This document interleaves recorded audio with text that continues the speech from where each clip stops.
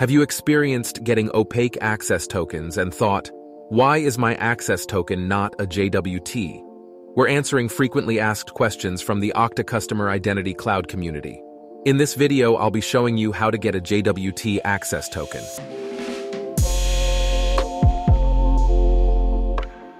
Before we can continue, you will need to know how to make an authorized request. Here's a quick reminder of what an authorized request looks like. Now, let me explain that getting a JWT access token is dependent on the audience parameter and the authorize request. In other words, the audience parameter controls whether the access token is an opaque or JWT format on generation. Let's take a look at this documentation on getting access tokens. We can see that omitting the audience parameter causes opaque access tokens, and passing an audience parameter where the requested audience points to your management API or your custom API, will generate JWT access tokens. Let's see this in an example.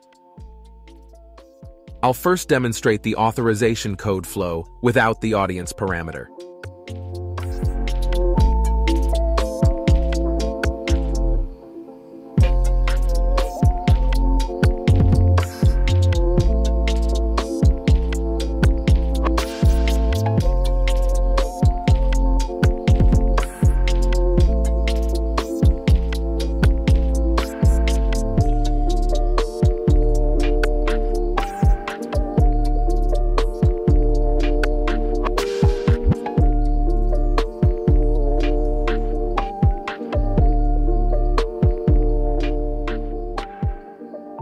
Here, when I try to decode the access token, I am not able to.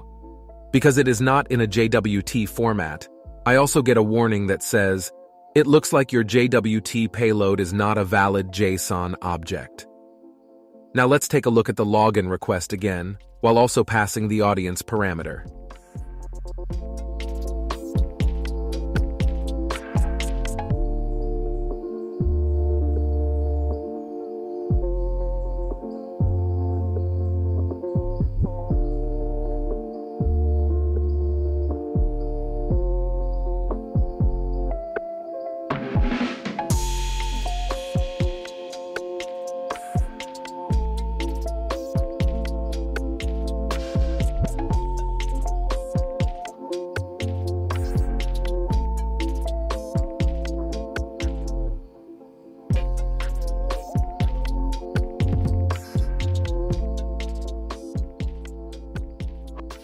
Here, when I decode the access token, it decodes properly with the payload, data, and signature with the correct information. To summarize, we looked at the importance of the audience parameter when requesting an access token and how we must include it to get a JWT access token. Please leave us a like or comment if you found this helpful, and join us at communityauth0.com.